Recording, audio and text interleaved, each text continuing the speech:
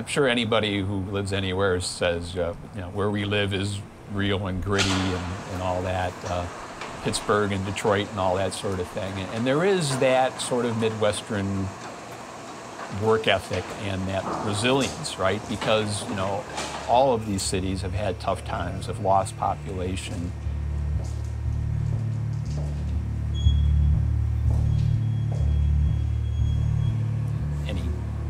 Region, any country is only as strong as its manufacturing base. You have to make things. You can't just be a service economy. You really, manufacturing is really how this country was built. But there's a core here of people and individuals who believe in themselves and believe in the region. You know, not just records, but the arts in general. And it's really, it's really been neat to see and be a part of.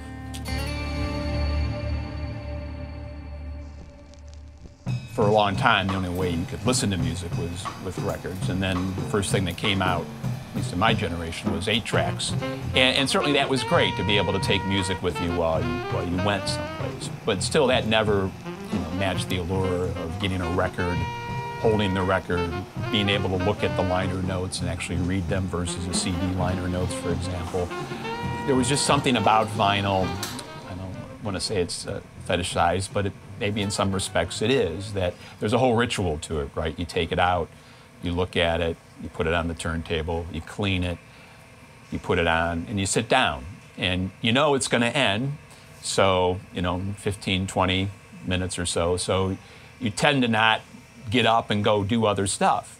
You know, I think if, if I were the artist that put that out, that's the way I would want people to listen to my music, is to sit think, absorb it as opposed to put it on as background music while I'm doing the laundry or washing the dishes or whatever. So that aspect of it, I think, is what a lot of the people that are younger now that are really fueling this resurgence in vinyl are finding that they never didn't have that experience and now they can have that. And in today's world where, you know, your phone's beeping every 20 seconds with a text message or a tweet or whatever, it's a great way to disengage and uh, almost meditate, if you will. I grew up on vinyl. You know, I took my parents' record collection for the most part, confiscated it. Uh, and, and, you know, it was just something always about it that I, I liked. It, it, I think it was the experience sort of thing where you have to sit down and, and listen the, the big complaint everyone had, which they still do, is, you know, where's the capacity? You know, we need more record plants because we can't get what we need when we want it. Uh, so I, I, got the bright idea of I was going to open up a pressing plant, uh, which it was kind of a struggle, you know. It was a struggle just to get people interested in trying out the new pressing plant because there's apprehension of, you know, do you guys really know what you're doing? And we didn't really. Uh, and uh, I mean, the first year in particular was rough because, you know, at the very beginning we had one machine going. The first job we did took us probably almost a month to get done, and I think it was for 100 records. And we were really learning it from scratch.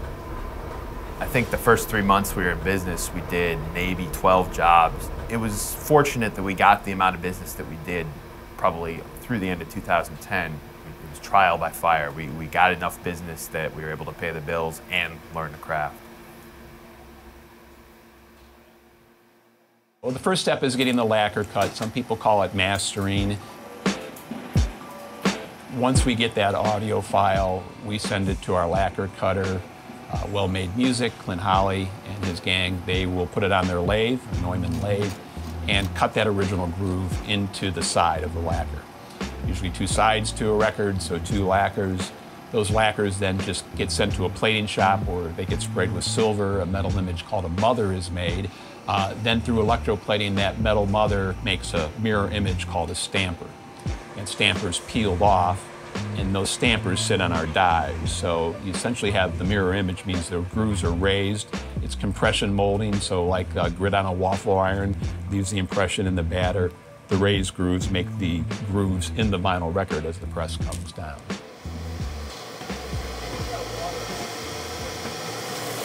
So the vinyl starts in pellet form in the hopper and it's melted to about 250 to 260 degrees in the extruder.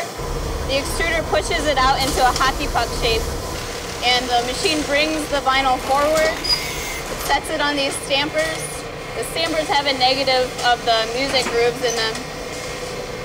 Then the biscuit is smushed. It's heated and then cooled. And after it's cooled down, it's sent back to be trimmed. Then after it's trimmed, it's put on the stack pin and then we can inspect it for imperfections.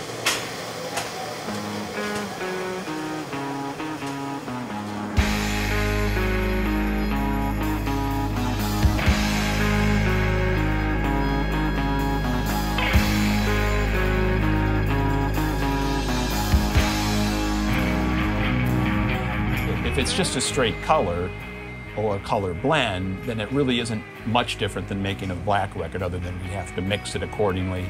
But for specialty things like splatters or something we have called coin flip or label blowouts or splits, those require a dedicated press operator at the press with an art table that we call behind them and a hot plate. We have some other proprietary techniques that we use to make some of the things that we do, but they all require that kind of specialized one person uh, attention. Yeah, they're much more labor intensive. There's still some mystery in the process, if you will. Uh, there is some art to it. There is an art to making a record, to making a good quality sounding record. So I've got this material warmed on a hot plate. We're gonna make a splatter record. It's really important to have the material roughly the same temperature as a biscuit. Otherwise, you're gonna get edges that aren't chipping.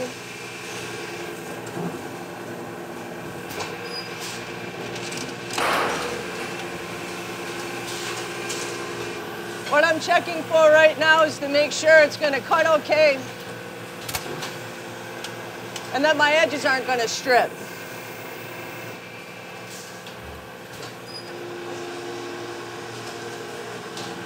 So this is what we're looking at. This is a standard splatter job. This is how we do it at Gotta Groove Records. Just the whole process, not just of making the record, but then once it's made and listening to it and making sure it's a quality record.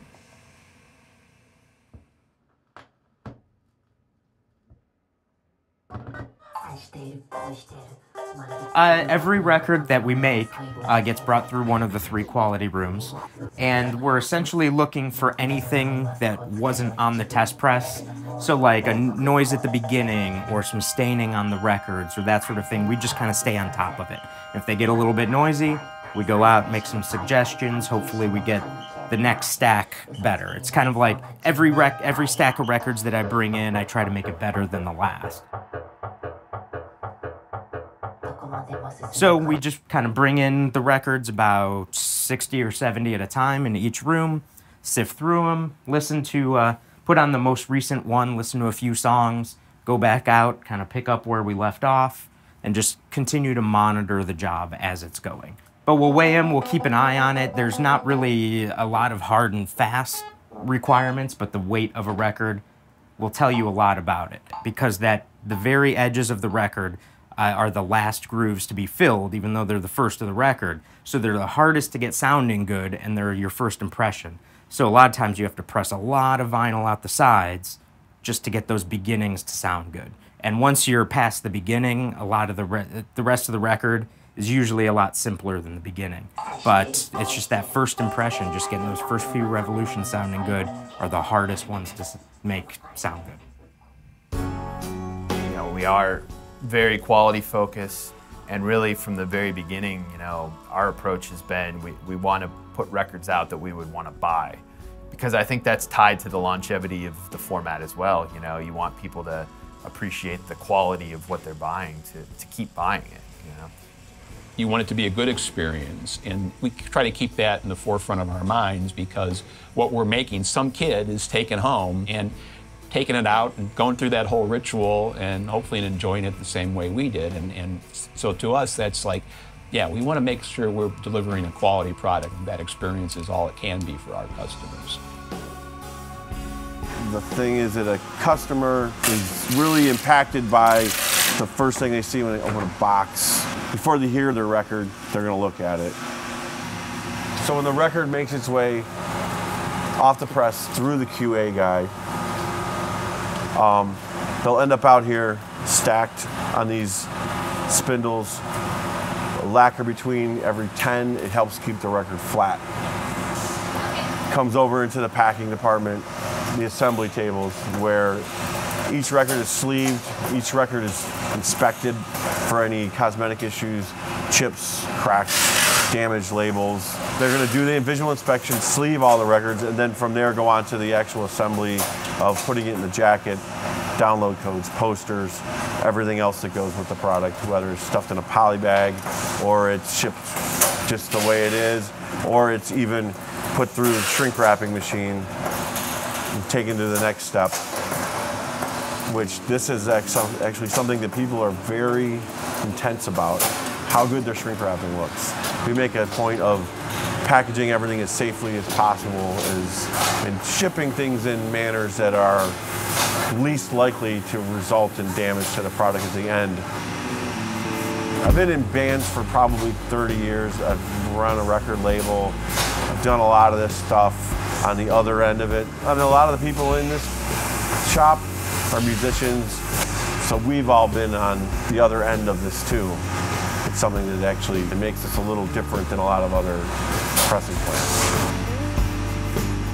I'm confident at this point, confident that vinyl's not going away. And you know, some of that is because it never really went away. Even though I stopped buying records when CDs came out and you couldn't really find many records anymore, certainly not newer records unless you were an audiophile.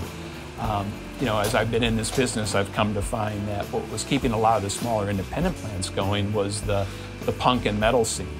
Uh, and prior to that, the DJ scene.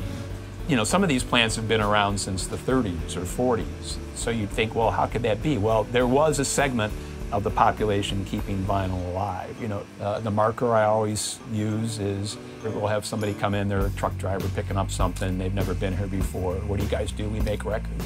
They still make records? You know, when I stop hearing that, then I know it's kind of at the level of mass consciousness, you know, that maybe we've plateaued. But I do see it continuing to grow, eventually plateauing, because there are people who want to own something physical to represent their taste in music. And that's not going to go away.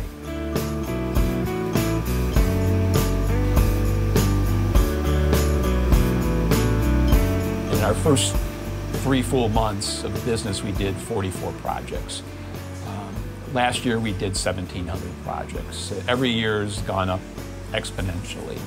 We have two shifts. Uh, we have had two shifts for a couple of years now. The, the work is out there. You know, for me, it's, it's about the employees here. I mean, it's certainly about our customers and delivering great product to them. But personally, you know, to give people an opportunity to have a job, and to hopefully grow with the job and enjoy working here and, and perhaps make a career out of it. And you know, we were able to finally this year offer health insurance to our employees, which we couldn't afford to do before. You know, those things to me are all you know significant. I'd like to see this place here with our employees engaged and Cleveland owned and Cleveland based and uh, providing opportunities to even more people down the road.